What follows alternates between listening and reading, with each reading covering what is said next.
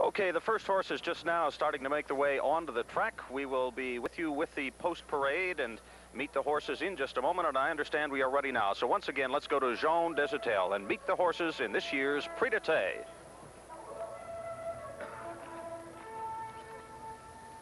Les Ambleurs pour la septième course s'amènent en piste. The Pacers for the seventh race are now entering the track.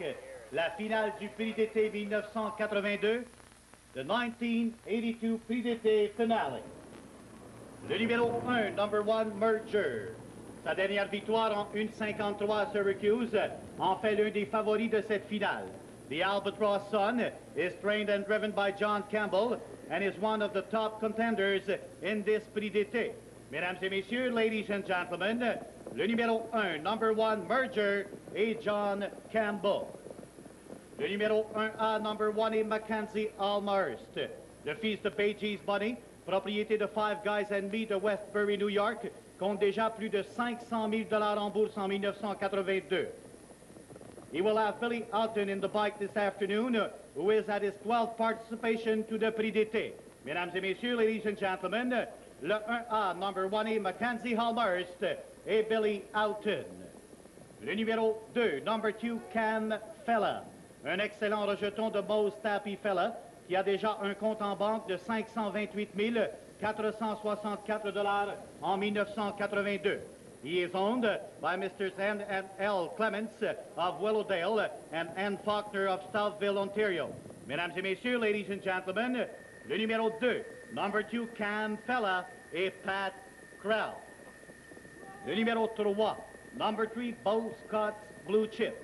Les propriétaires Arthur Klein et John McNamara ont versé les 20 000 dollars pour le rendre éligible à la grande classique. The most happy fella son has already earned $219,792 in 1982 with a record of 6-4-0 in 16 starts. Mesdames et messieurs, ladies and gentlemen, le numéro 3, number 3, Bo Scott's Blue Chip et Catello Manzi.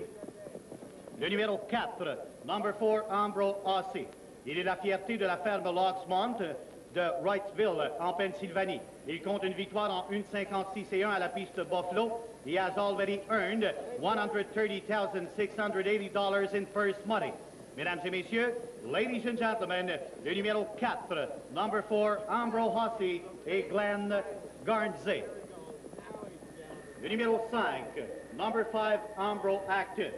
Le fils de Horton Hanover n'a pas couru à l'âge de deux ans et en est donc à sa première année de compétition. Il compte déjà 8 victoires en 17 départs à vie. He is one of the Canadian representatives being owned by Mr. Bruno Comigna of Burlington, Ontario. He is driven and trained by Gart Gordon. Mesdames et messieurs, ladies and gentlemen, le 5, number 5, Ambro Acton et Gart Gordon.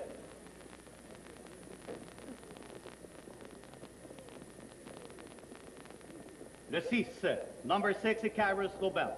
Le protégé du champion mondial Hervé Filion compte déjà une brillante victoire dans le Battle of Brandy One.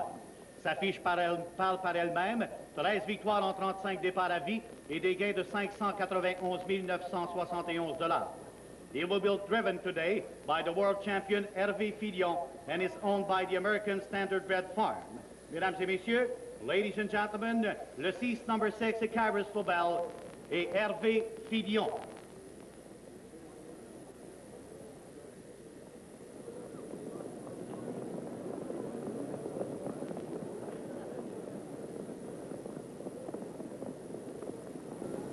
Le 7, number 7, Cole Arbor.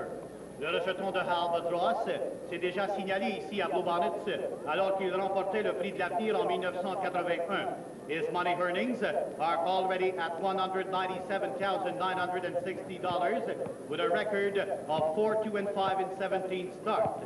He is owned by R.E. Chilvers and J.M. Johnson from Ontario. Mesdames et messieurs, ladies and gentlemen, le numéro 7, number 7, Cole Arbor et Ron Waples.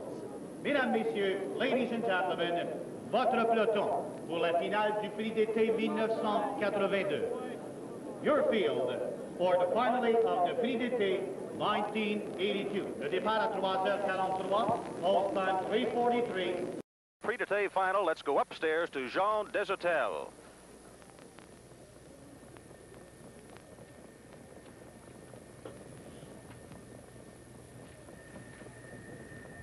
On accentue le rythme. They are picking up speed. Et c'est le départ del Rock. Et dans le signal du départ de la culture Camfella. On the extreme outside à l'extérieur tout à fait. C'est Mackenzie Almarst. Entre deux adversaires, Ambro Acton. Quatrième port outside Cole Arbor. Cinquième fifth alongside the Bilbo Scott Blue Chip. Maintenant sixième down sixth Merger. Septième, seventh Ambro Aussie. Et huitième été Carlos Lobel. Spreading the field à l'arrière du peloton. On dirige sur le poteau du 4000.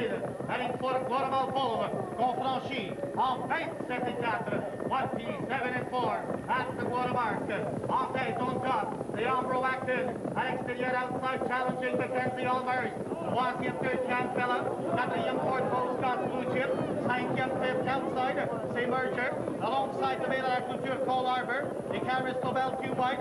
And after Villa Ambro Aussie. On dirige vers le poteau du 8000. Heading for the asphalt pole. En tête, on top. At the Villa la Culture Mackenzie Almers.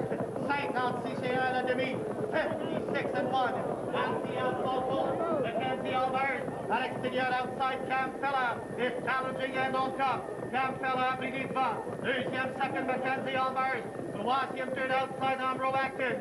Maintenant, quatrième, fourth. Bo Scott Blue Chip. Afterville, c'est Cole Arbor. Sixième, sixth, outside, c'est Merger. Afterville, Ambro Aussie. Et à l'extérieur, les Carus Lobel. On a franchi le poteau du 32 000. Une 25 au 32 000. 125 flat at the three-quarter mark. And let's watch that Philly timer. Surveillez bien le chronomètre. On vient compléter. Coming down to the wire. What a race. Quelle course. À la clôture et en tête. Afterville, on top, Cam Fella. Deuxième, second. On the extreme outside merger. Ambro active. À l'extérieur, tout à fait, Lobel. The winner of the 1982 Prix d'été.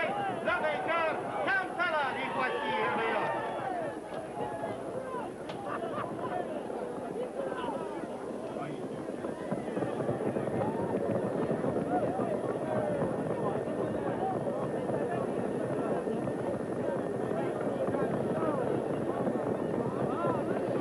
So, a remarkable performance by Cam Fella. We began our program today by showing you some of his other exploits in Canada this year. The Queen City of Toronto, the Confederation Cup at Flamborough Downs, and now he comes to Blue Bonnets for the 16th Prix d'Eté at Earl Really No Contest.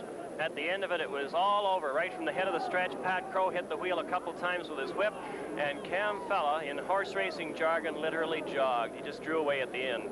Some real confusion here in the middle uh, of the pack uh, among the horses going for second and third. Earl, as you can see, that was Merger, uh, the sign of a tired horse as he just uh, went on the gallop there and caused some real confusion.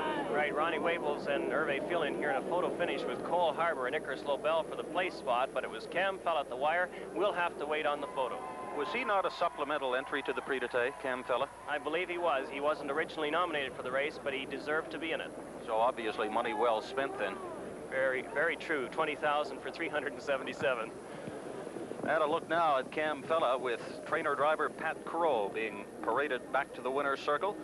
Uh, this three-year-old colt has done a remarkable afternoon's work as we take a look once again at Cam Fella burning it up, sizzling down to the wire.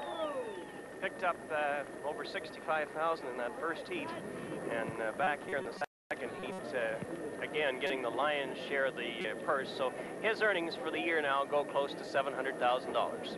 About $130,000 of that picked up here this afternoon. So as we say, that's supplemental payment money well spent indeed. In perfect stride as he reaches at the wire, and as you say, Pat Crowe, no urging other than a couple of slaps at the side of the bike. That's right. Before this final heat, uh, Doug, we talked to Pat Crowe. You asked him about uh, what he thought he would do, and he said he'd take advantage of the number one post position. Uh, Keith Waples had advised him to do that years ago. Mackenzie Elmhurst in his elimination earlier this afternoon was not particularly impressive. Uh, uh, Billy Haughton that time had him out and going much sooner in the race. Were you surprised that he didn't hang on? Well, I was kind of surprised that Cam Fella went by him with the ease. Uh, he didn't seem to have any battle in him at all on the backstretch there. But of course, Cam Fella's a great horse too. But uh, McKenzie just couldn't seem to go with him at all today, and I guess faded quite badly at the end.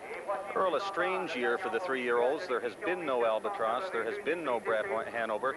In other words, a horse that can dominate week in, week out. Uh, is Cam Fella going to be that kind of horse from here on in, do you think? Does he show that kind of capability? Well, he shows that kind of capability, Doug, but unfortunately the horse is not in the little brown jug. They can again supplement him to the messenger stake, but uh, it'll be tough for him to get enough starts against these other colts. He, he's probably not eligible at Lexington either, and you have to start in those big races week after week and beat them week after week in order to get the votes. But boy, he'll get my vote after today. he may get mine as well. We'll be back with more from the Prix d'Été at Bluebonnets in Montreal after we take time out for these commercial messages.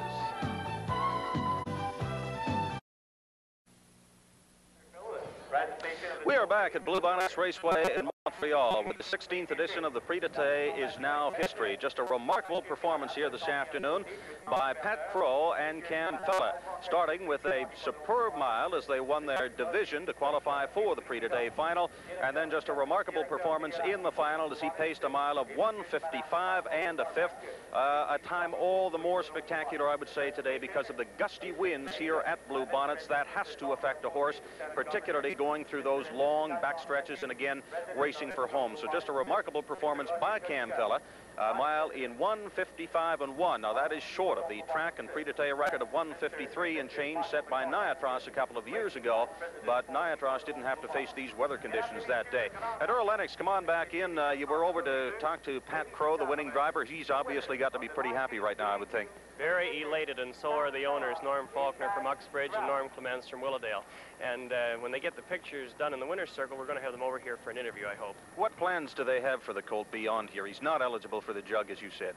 Well, I'm not just sure where they can go. They just have to pick their spots from now on for the rest of the season. They can supplement him to the messenger stake at Roosevelt later in the fall. And, uh, of course, if he could win that race, that's two of the three legs of the U.S. pacing Triple Crown, now that he's won the Canadian Triple Crown. So I think it would be awfully hard to uh, ignore a horse with that much ability. Earl, I mentioned the winning time of 155 and 1 being short of Niatros's all-time Prix record of 153 and change. But, uh, boy, we had some wind here this afternoon and a remarkable mile in light of that, I would think. Yes, it's very windy and extremely cold, too. The uh, day that Niatros went 153 four here. It was a beautiful day, no wind and sunny. Of course, Cam Fella is a great horse, but I'm not yet ready to make him a Niatros. Okay, what are we going to do now? We'll take a look at the payoffs, and there you see him. Cam Fella returning $4.20 to win, 350 to show, 350 to place. The number two entry, $8.80 to show, $4.50 to place. And the number three horse, $8.40.